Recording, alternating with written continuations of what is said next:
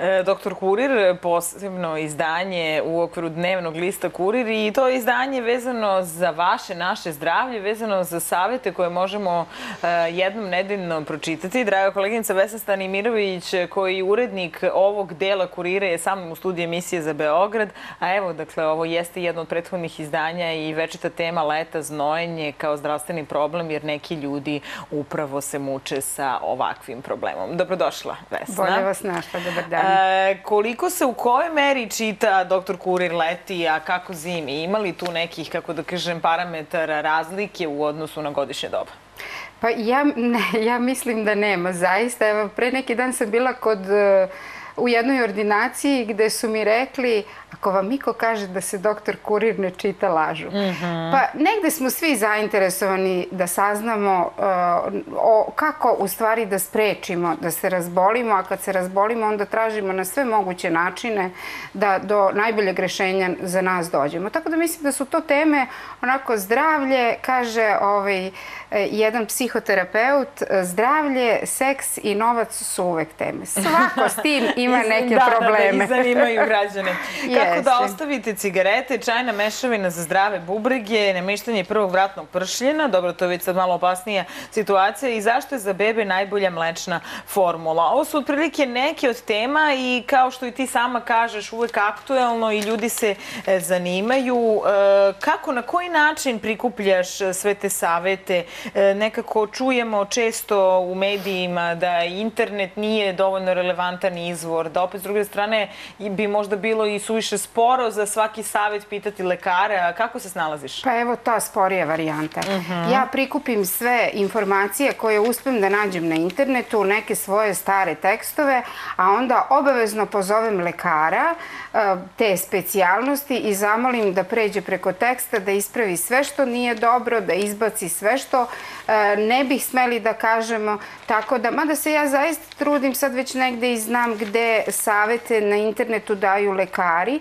pa se ni, negde ne skupljam sem kad radim istine i zablude, onda zaista skupim mm -hmm. zašto, jer svi smo mi negde u nekim zabludama i voleli bi da znamo šta je istina, ali ja idem ovom sporijom varijantom, treba mi dosta vremena, ali sam onda negde sigurna kada me čitaoci pozovu i pitaju za savjet, uvek mogu da im dam čoveka koji je to preporučio, da. a to je da. važno. Da. Mislim, dati informaciju kao informaciju je lepo, ali ako vi ovde ne možete to da primenite kod nas, mislim u Srbiji, onda je to samo na nivou ekstra super i tako ne. Ostalom i lekari se nekako bune i ne vole da dolaze stalno građani sa određenim pitanjima koja pak e, nekako nastanu kao rezultat svega onoga što čitaju. Tako da e, bi mediji i odnosno novine i lekari nekako morali da budu u korelaciji, odnosno dobrom odnosu i savjetovanju, jel? Pa to je jedini način. A mhm. oni lekari e, zaista ne mogu, ja sa njima divno sarađujem i uglavnom veli, s velikom većinom, ima i onih drugih, ali dobro, to je tako kako jeste. Um, uvek je bolje proveriti nego prepustiti, proći će uh -huh, samo od sebe. Znači, svaki lekar će vam reći, ako imate sumnju, to što sad mi ima i hipohondara, to je jedna od sledećih tema koju ću obraditi u doktor Kuriru, i to su stvarno ozbiljne, ozbiljna stanja, ovaj, ako posumnjate da nešto nije u redu. Svi smo svedoci koliko to rano otkrivanje bilo kojih, evo konkretno malignih bolesti koje da. odnose živote, koliko je važno to rano otkrivanje. Bolje je da odete da proverite, bez obzira sad na sve one redove gužve, imamo sad dosta, bar u Beogradu, i privatnih klinika, pa možemo sebi negde taj ultrazvuk da priuštimo i sve ostalo. Znači, negde uvek treba, ako imate sumnju, niko vas bolje ne poznaje od vas sami. Da. E, e, šarene strane su deo ovog dodatka koji je nekako poseban, e, s obzirom da postoji apel potreban novac za lečenje i zapravo fondacija fondacija, humanitarna fondacija Budi Human Aleksandar Šapić sa kojom i mi sarađujemo i evo upravo sada smo u akciji prikupljanja sredstava za malenog Nemanju Damčevića.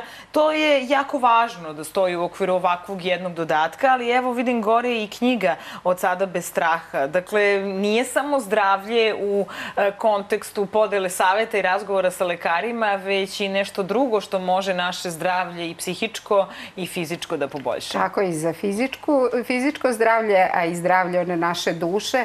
Da, eto, ta apel, taj apel mi je uvek, mnogo sam tužna kada, eto, zbog nekih uh -huh. e, reklama, na primjer, ne mogu da stavim taj apel, ali u svakom broju doktor kurire imamo ovaj, e, molbu za pomoć nekom detetu, jer negde kažu sve radimo samo zbog sebe, ali se dobro osjećamo kada uradimo nešto za druge. Da. Tako da negde uvek uh, ja, eto, pre nego što objavim, svaki put uplatim i ja se bolje osjećam. Ne znam da li je to zdravstveno na fizičkom nivou bolje. Svakako se čovjek bolje osjeća kada učini jeste, nešto za sebe. Ja ću još jednom da ponovim 329, ja mislim na 3030 ili pak 325, vidjet ćete u okviru e, našeg programa e, pomoć za malog Nemanju Damčevića, fondacija e, Budi Human. E, zašto nam se ruke tresu? Stresu. Ovo je takođe jedan od prethodnih e, segmenta, odnosno tema.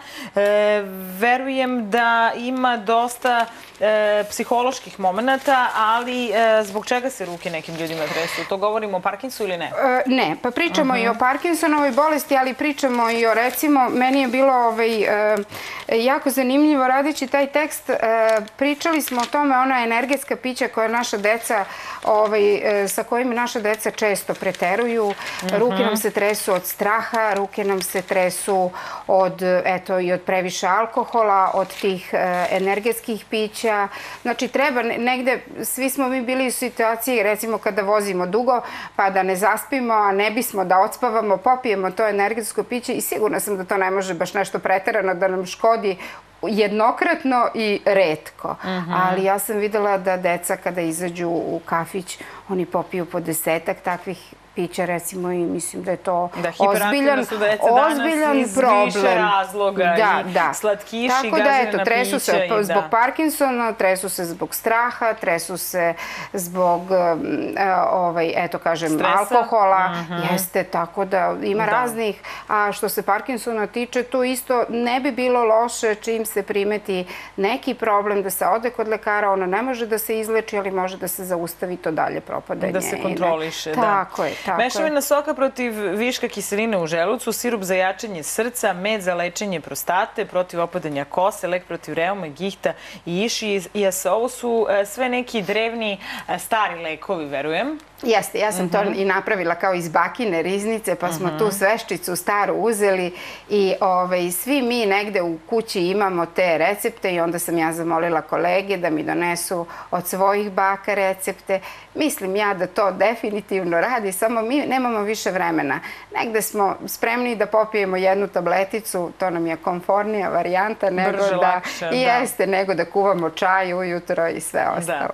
I još preporuka jedna e, knjiga i izdavačke kuće Laguna, moć i nemoć organizma i dakle čitava tajna produžetka života sastoji se u tome da ga ne skraćujemo. to može biti interesantna rečenica koju možemo svakodnevno sebi da ponavljamo. Vesna, šta najavljujemo za ovu nedelju? To je e, 16. 16. Jeste. jul. Pa najavljujemo mamografiju, kada je mhm. potrebno raditi mamografiju, zašto je važno raditi često samo pregled dojki. Mhm. To, je, to će biti glavna tema. Pričat ćemo o najlakšem načinu da rečimo, da dođemo do bezbolnih menstruacija. Znamo koliko devojke imaju probleme. Mhm. Tu ćemo malo i policistične jajnike obraditi, onda Evo, pokušavam da se setim šta sam sve radila. Imaćemo nameštanje, tehnika nameštanja želuca, koliko u stvari može želudac da nam napravi problem. On može da se spusti i da se podigne i da imamo želudačnu kilu, a da uopšte nemamo simptome koji nas upućuju na to, recimo, osim recimo one kiseline, to vrlo često kažu da, da taj želudac kad nije u redu, da se vrlo često dešava, doživljavate kao da imate infarkt, mislim, mhm, stanje mhm. kao da imate infarkt, tako da to nije loše pročitati svakako, e, onda Pa ne znam, s puno. Apel, Još, da. apel ćemo objaviti ovaj, evo ja obećavam za Nemanju, kako ste rekli, pošto već radimo, evo sad idemo za Nemanju i onako molim i vaše gledaoce i zamolit ću svoje čitaoce da, eto, pošalju tu jednu SMS poruku, njemu će mnogo značiti, a i nama svakako. E, na samom kraju, Vesna, dosade li nekad teme vezane za bolesti? Pa ne, ja stvarno taj deo... Opterećuju li ponekad? Ne? E, nekada vas dovedu do, u stvari svaki put me osveste i negde me, e, svaki put kad čujem tu tešku priču, prosto negde se uvek potresete, ali vam negde da podstrek da idete dalje, da čuvate to što imate i ti ljudi, ja recimo, ja sam član udruženja um, dijaliziranih i transplantiranih roditelja dijalizirane i transplantirane dece sve za osmeh i mi često imamo druženja. Ti ljudi vam daju posebnu dimenziju pogleda na život. Koliko je život lep, zaista. I kako ga mi opteretimo vrućinom Da, i za 40. čas nekako ovaj, I za čas izgubimo po- parametre o tome koliko Jeste, smo zapravo koliko je u stvari, da, koliko smo Da, dobri. da. Hvala puno Vesna, vidimo se nekom drugom prilikom uz nove teme vezane za zdravlje, ali i za druge sadržaje dnevnog lista e, Kurir.